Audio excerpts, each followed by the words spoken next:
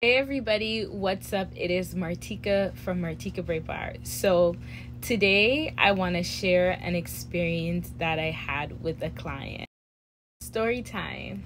So I've had uh, this client um, in the past. I think he has come to see me about five times, looking back at his history forms. And today, like any other booking appointment, um, this client is pretty reserved, and um, initially I got a call. I haven't seen this client in some time. I got a call today, and he had asked to book an appointment. And when he reached out, he asked. He said that he wanted a specific service done. So, I he arrives, and in the moment when we're about to start, he says, I want to change my style to six braid. So he wanted two strand twists for his locks, and then we ended up doing six braids. Now, I have always said this in the past because I'm very aware. I don't like to change hairstyles in the moment because most cases clients are very indecisive and they do not know what they want. And in that moment when they decide on a style, at least 85% of the time, when you complete the style, they're going to be dissatisfied because they're indecisive. They're not sure what they want. So do not change the style in the chair. Confirm the style. For me, at least, I confirm the style. I make sure that the style that they want is solid. We're locked in, and that's what we're doing. When you come in, you know exactly what's getting done this is all of this is not new information. This is information that is on the client intake form that i have uh, during every single booking process. So each time you book the form will pop up you read through it, it you sign it and then you can move forward and we move forward to confirm the appointment. So all of this information is on the form. I've had many people reach out and ask have I experienced all of these scenarios? Absolutely, yes, I have. And to be honest with you, it does cover my behind because these are situations, as small as they might seem, that do come up. So in this case now, so also I have on the form, I'm gonna pop it up, I'm gonna actually attach it here. Um, it says, and I'm just paraphrasing, it says that you it's we're going to be doing the full service. It's going to be a step-by-step service which means i'm going to include you in the service. You're going to engage in the service. You're going to see what's going on. And i try to do this for all of my clients. Even if you're a returning client i do it. I do a video. I stop. I do a video. I show you what's going on. You have a look. You confirm i don't like it or you confirm i like it and i move on from there. And this is mentioned on the form please communicate with me that you like the style or you don't like the style. Everyone has their own preference, and I don't care how good of a hairstylist you are. People have their preferences, and just because your work is good, it doesn't mean they're gonna like it. So, the best thing to do to work with your client is to make sure that they're seeing what's going on and they can confirm if they like it or not. So, with all of that being said, I've had this client multiple times not a new client. They've booked, they've signed the form, they've read through. They're also more of a reserved temperament, so I have never gotten too much communication, but I I have always delivered in the past. And this was the very first time that this client in particular changed the style on spot. And um I very rare do I make exceptions. I made exceptions today because it's not usual for my client to do or this client to do something like that like to switch in the moment but i just accommodated it because it was just it wasn't anything too tedious and so i was able to go ahead and deliver what he wanted once we were finished, as usual, I was filming the process because I love to put back background music, but I also showed him the video before he got up out of the chair and he confirmed and we move forward. At no point did he say to me, I don't like it. I'm not happy. I'm not satisfied. You know, um, this is not what I wanted. He was very specific. He wanted the edges left out because he was going to go to the barber. The edges are left out. Everything is in video. So um, everything is there. He wanted his edges left out. His hair was done. He paid and he left. I had another client and I get a notification on my phone. So I'm getting a notification of a review and I'm in the middle. I see the notification briefly, and then I'm in the middle of another client. So I finish that client, and then I have a look at the review. The review is a negative review. He's unhappy. If you want to take a look, you can go there and see for you. Now, I don't base my worth or my value of my services on reviews. I always love um, people commenting and giving feedback. And to be very honest with you, I am open to people sharing real, transparent experiences. So if this is your experience, whether good or bad, you have the right and you have the right to do what you have to do. Now, when I read the review, I was shocked because the first thing that came to mind was you did not say anything. You were quiet. And I, I i don't know but i try my best to communicate. And i understand that everybody is not a communicator.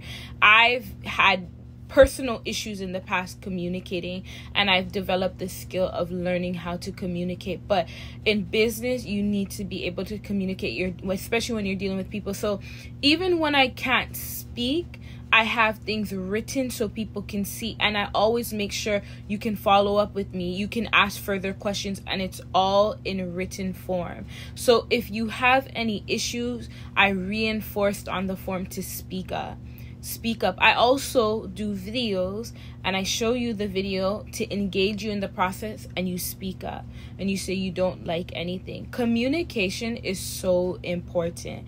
And that's why I love to talk and I love to express myself and I love detail and clarity.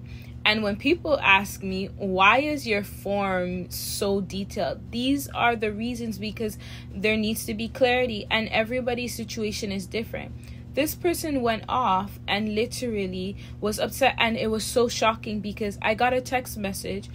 The person took photos home and they sent me just a bunch of photos. They didn't say hey look i don't like my hair. There was no communication there's absolutely no communication through text.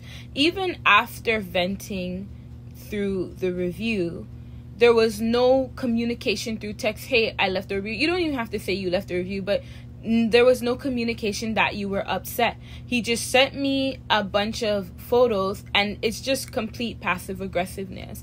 And it, that wasn't necessary. The the simple thing that could have been said is I don't like my hair. I'm not satisfied. In that moment, I could have said, "Okay, what don't you like about it? Okay, what would you like fixed? Okay, let's take it down and let's see what we can fix." In that moment, you speak up.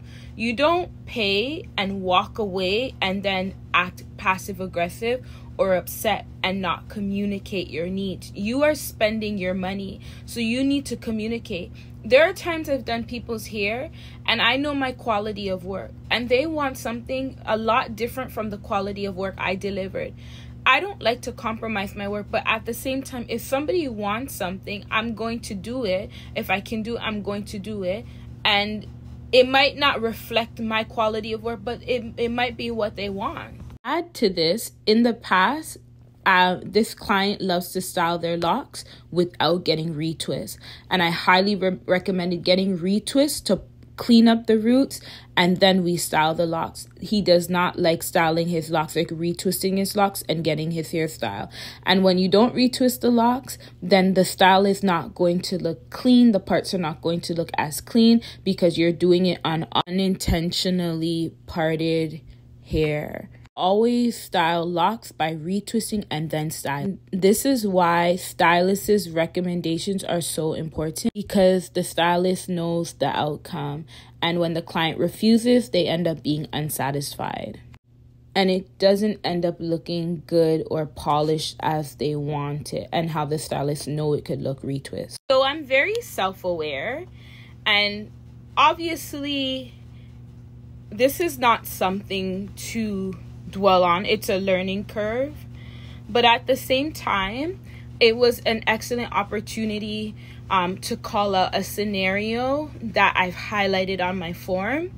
And I literally stressed communication. And it's my duty to deliver, but it's also a requirement for clients to deliver. Now, when people think it's just here, why do we need so much rules and so much booking? It's not just here, it's dealing with people, it's dealing with people with different expectations, dealing with people with different, um, just different visions of what they want and to be able to come to an agreement and I always say this, and I will not stop saying this. Sometimes it's just not a good fit. The stylist and the client are not compatible, and it's just not a good fit. And that sometimes it really boils down to that. But if this is an excellent opportunity to um, reassure and also highlight the main reason why I have these boundaries and these borders and these forms. A lot of times it might feel like heavy fences, but I'm self aware because I've been through experiences, so I know, and it's not one or two experiences, it's multiple experiences where I've evaluated and seen where, okay, th- like for example, something as simple as I do not take clients changing styles in the chair. Why? I've had been asked that why don't why why can't I change the stuff? Because I know that 85% of the time the outcome is going to be they're not going to be happy with their hair. So if they say, "Hey, I want um, pop smoke braids," and then they change their mind, "I want straight back," it has nothing to do with the pop smoke braid. They're indecisive. They don't know what they want. And then when you do one thing, that- now where it comes to money, and where it comes to payment in this situation, you have the opportunity as a client who's paying to speak up and to say what you need, right? I've laid down rules that be prior to you booking where you have an understanding that look you confirm your hair i'm gonna i'm gonna i'm gonna follow through with what i'm saying. I'm gonna show you your hair. I'm gonna show you each step of the way. If you see something you don't like i'm gonna show you. I've improved the quality of my work and the quality of capturing my work. So it's very clear and upfront if you don't like it, you say you don't like it, or you say what you want adjusted, and we move forward. If you confirm and you move forward and you even and then you pay, you understand? You're confirming that you're satisfied with your hair. Now, to go home and then to not even communicate with not give me a call, not text me, just go straight to rant and leave a review. I think that it could have been handled a lot differently, you know? And it shows that there was a I don't know if it was a fair to directly communicate with me, but the most mature thing to do is to reach out to the stylist and say, "Hey, look, I don't like my hair and I'm not happy or I feel really upset that I'm not satisfied." Do that first and then maybe if you have issues then you can go ahead and take it further if you want to be heard. But the first thing to do is to reach out to the person who did it directly. That's the most mature thing to do and say i paid for this but i'm still not satisfied. And then you can express the issue. You don't just go out on a rant and try to tear down someone's character or their name and it also is really bad for the relationship because when you do something like that it's hard to reestablish that relationship after re- responding that way because what ends up happening something as simple as hey martika i don't like my hair and i'll be like oh my god hey let me try and fix it. Okay what's the issue? I could have been very accommodating. Now like really bad mouthing someone it really doesn't give the person the urge to want to take you take on the service anymore. So these are just a little heads up. As important as it is as a service provider to show clients respect it's also important for clients to show service providers respect if you need something and you want something done. Because at the end of the day you need the help and that's why you're reaching out. Because if you didn't need the help you wouldn't reach out. So it's just a basic level of communication and respect and you know resolving minor issues that don't have to blow up into something bigger so you know i have seen things like this happen in the past and I have experienced this within my own personal life as well.